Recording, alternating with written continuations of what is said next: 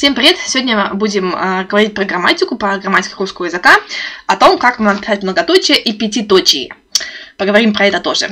Э, итак, значит, начнем с многоточия. У нас многоточие в русском языке мы пишем, когда у нас какая-то прерванная фраза, и в конце предложения мы ставим не точку, а многоточие. То есть, допустим, мы пишем для и потом нас когда прервали нас, да, либо мы сами решили не заканчивать предложение и просто-напросто ушли в молчание.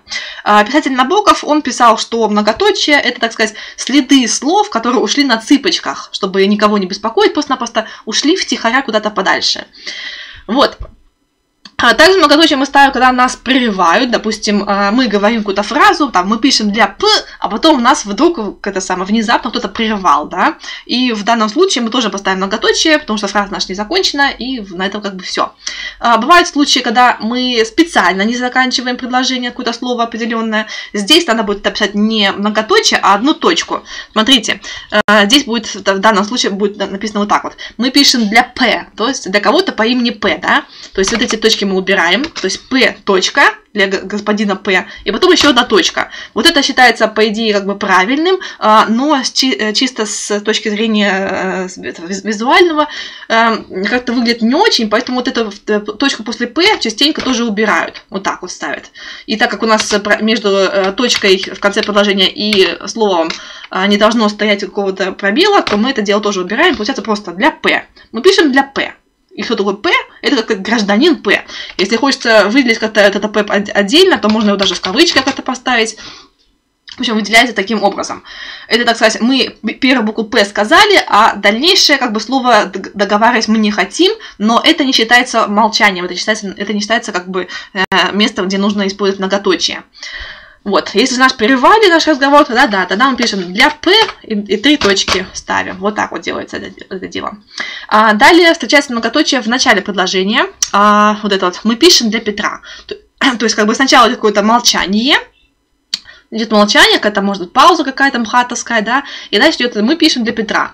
Вот это э, предложение, вот это правильно написано.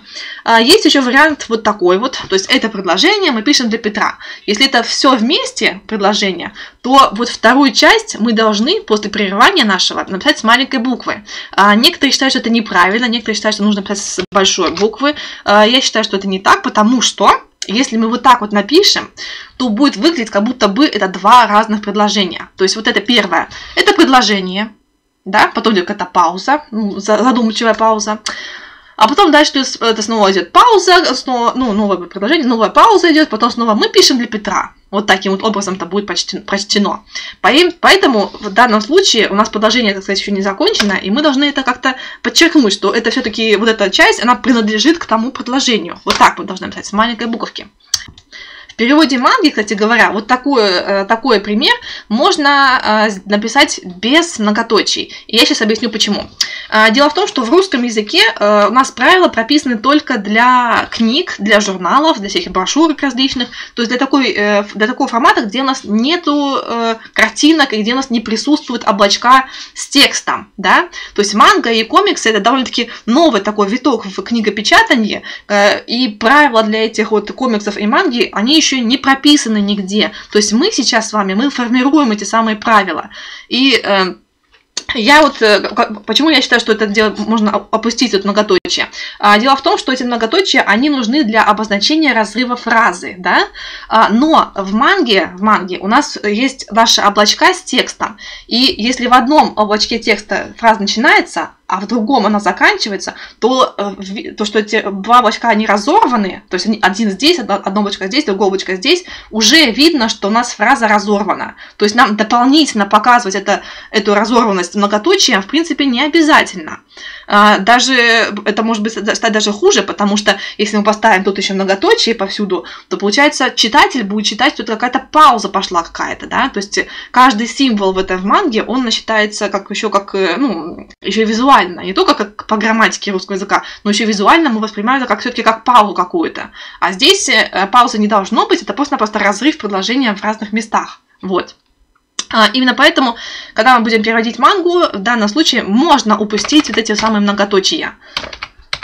Вот так. Это у нас будет в, одной, в одном облачке написано, а это будет в другой облачке написано. Без точки здесь и с маленькой буквы вот тут. Это будет у вас как бы тоже считаться правильным. То есть, конечно, а, грамотеи русского языка, которые у нас на, там, научены по старым этим правилам русского языка, они будут вам говорить, что тут неправильно, надо обязательно ставить многоточие.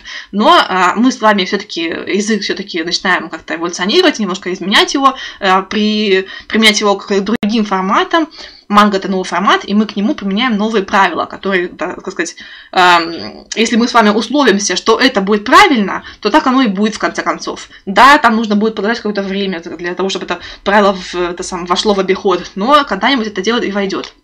А плюс ко всему, если э, будет стоять там многоточие вот эти различные, а облачко у нас довольно-таки маленькое и узенькое, то эти многоточия нам будут очень сильно мешать вместить наш текст в это самое маленькое облачко.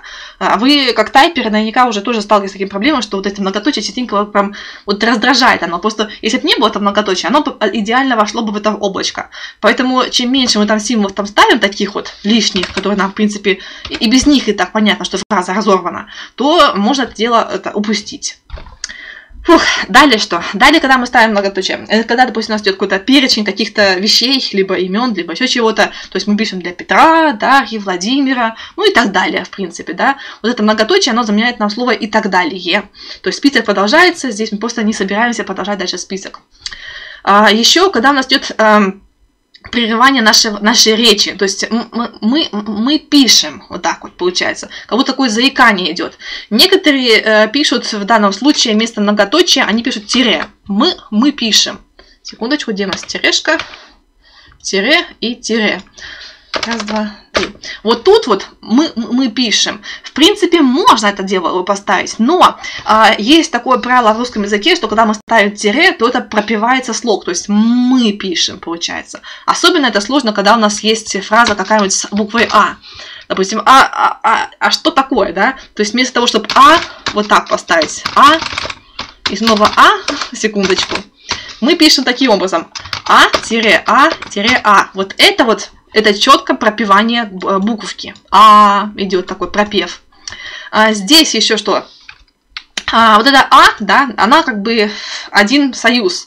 А, почему, допустим, здесь, секундочку, покажу еще разок. Почему здесь я после многоточия э, не поставила пробел, а здесь поставила? А, дело в том, что вот это А это отдельный, отдельное слово. То есть А законченное слово, после этого законченного слова начинается новое слово. Новое слово «а», потом снова новое слово «а». И между словами у нас нужно ставить пробел. Здесь же у нас слово не закончено, то есть «м», еще оно как бы не закончено, буква «и» после этого должна идти. Только после того, как мы написали букву «и», тогда уже пишем наш э, пробел. Вот, поэтому здесь пробела мы не ставим, а вот здесь ставим. Вот. А, да, для того, как пропивать этот слог или нет, ну, да, это сложно на самом деле, но а, так как у нас в русском языке принято, что все-таки вот это пропев какого-то какого звука, да, то лучше всего паузу, такую заикание, лучше все-таки ставить многоточием, а не терешкой. А, далее что? А, дальше у нас многоточие ставится, когда у нас идет какое-то перечисление там чего-либо, да, то есть незаконченная тоже фраза, то есть мы пишем, читаем, ну, еще и поем, вот так вот, да, то есть как бы мы перечисляем какие-то действия, которые как бы подразумевают себе что-то нечто большее, да, но мы это не описываем нечто большее, мы просто-напросто вкратце сказали одно слово, потом другое, потом еще одно. А вот здесь тоже возникают у нас э, споры. А, тут люди считают, что вот здесь надо писать читаем и поем с большими буквами. Тоже довольно-таки спорный, э, спорный вопрос. А, почему? Потому что э, это получается, что либо это три разных предложения, мы пишем, читаем, поем, да, но в принципе это все как бы относится к одному, да, читаем, поем, это тоже относится к этому мы, это просто как, то есть здесь многоточие, как запятая присутствует но при этом еще как бы запятая с молчанием. То есть у нас нет такого знака, что у нас идет запятая,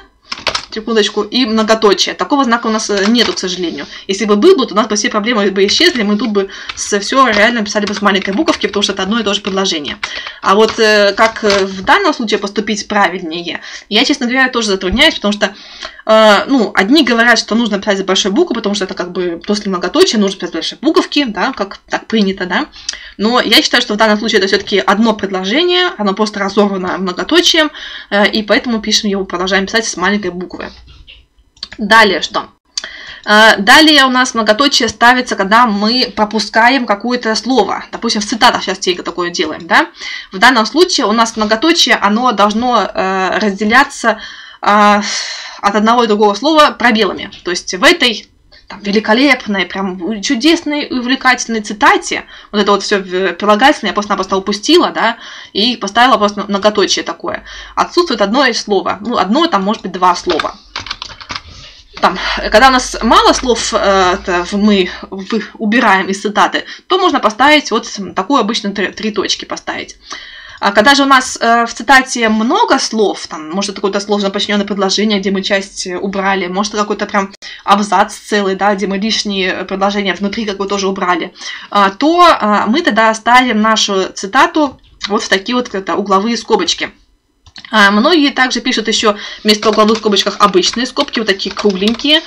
Упс, не то брала. Вот так вот. А, это считается тоже приемлемым. А почему они так делают? Потому что угловые скобочки в, на русской клавиатуре, они отсутствуют. Чтобы поставить угловые скобочки, нам нужно переключиться на английский язык. Секундочку. Переключаемся на английский язык и ставим вот эти вот самые скобочки. А на русской клавиатуре этого, этих скобочек нету, да, поэтому а, многие ставят именно круглые скобочки, чтобы там, ну, чтобы быстрее, можно сказать, пошел процесс писания. Вот, а, в принципе, и то, и то приемлемо. Еще мы ставим многоточие, когда говорим, типа, от, ну, расстояние какое-то там от того до того. То есть, допустим, длина ветки 4-6 метров. А, такой, кстати, способ написания уже, по-моему, устаревает, потому что чаще всего пишут уже вот таким вот способом 4-6 метров. А, минус в таком написании, а, многие люди путаются с математическим знаком минус. То есть не 4-6 метров, а 4 минус 6 метров. Получается, длина ветки 4 минус 6 метров, получается минус 2 метра. Что-то не то получается, да? Ну, если, допустим, еще с, ну, обычно начинается с маленькой цифры, потом заканчиваем большой, то есть, как бы, ну, получается какая-то путаница. Поэтому э, вот способ с многоточием, упс, секундочку, способ с многоточием вот такой, он более точно передает э, нужность данной информации. Но э, многоточие ставится это три раза нужно эту точку, а терешка всего лишь один раз нажал и все. И при письме тоже у нас удобнее написать терешку, чем э, три точки ставить.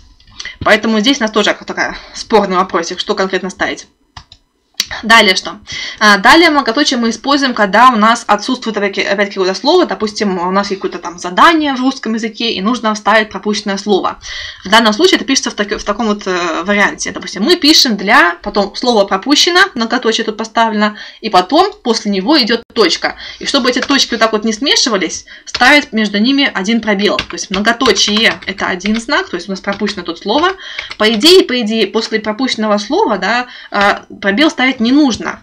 Но чтобы люди визуально не путались вот с этими вот четырьмя точками, мы ставим вот так вот, чтобы это визуально было понятно, что там пропущенное слово, а потом конец предложения.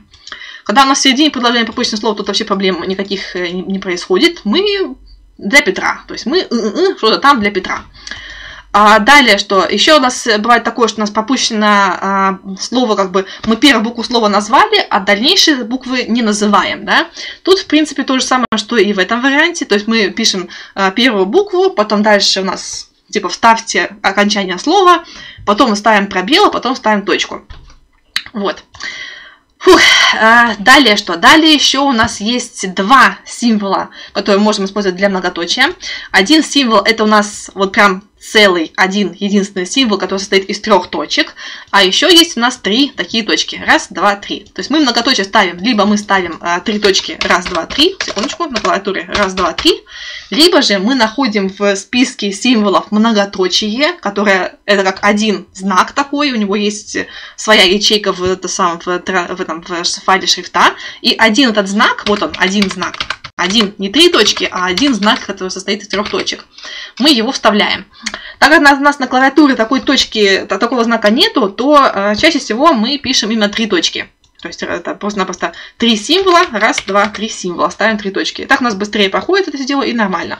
А некоторые программы, допустим, вордовские файлики, вордовские, э, программа Microsoft Office, она частенько, эти три точки, когда мы ставим, она автоматически э, переводит в, в, в этот один символ. То есть когда мы нажимаем после трех точек, допустим, Enter, новая строчка начинается, или там новое предложение после пробела, Word, он автоматически превращает наши три точки в один вот такой символ.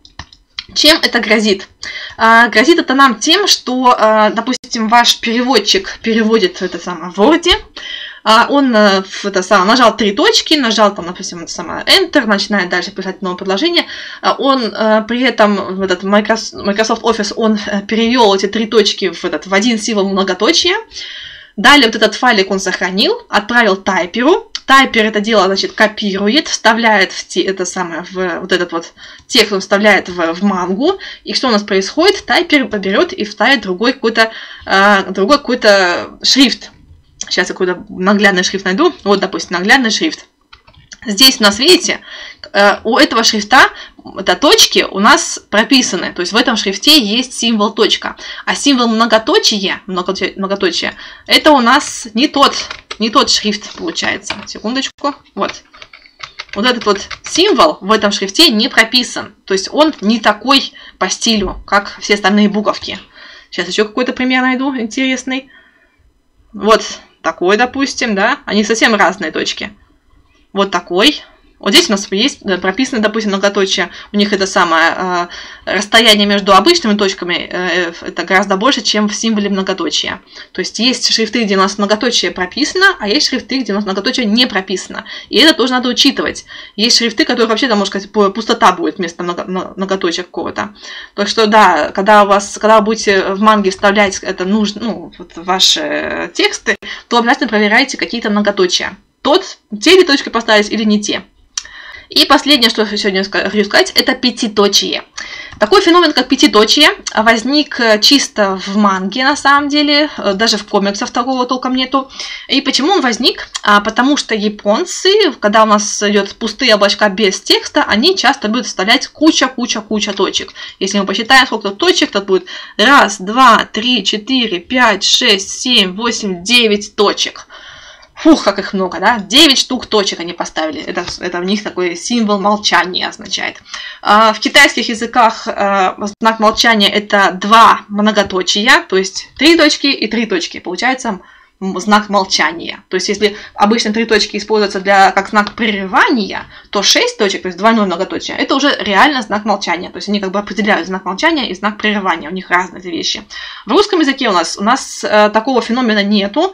То есть, у нас как бы в грамматике русского языка у нас как бы не существует этих самых пяти, шести, девяти точек вообще никак. А, но а, так как у нас многие, так сказать, дилетанты этим уже пользуются, они постоянно тоже, они русские э, переводчики, они либо оставляют вот эти вот вертикальные точки, да, допустим, это наш перевод, мы тоже там оставляли, оставляли те самые 9 э, точек вот столбцом, э, просто-напросто почему? Потому что было влом это дело стирать. Это было не совсем верно. Более верный вариант это, это поставить как раз-таки пятиточие. Пятиточие это такой тоже феномен, который произошел только, возник только при э, появлении переводов манги на русский язык.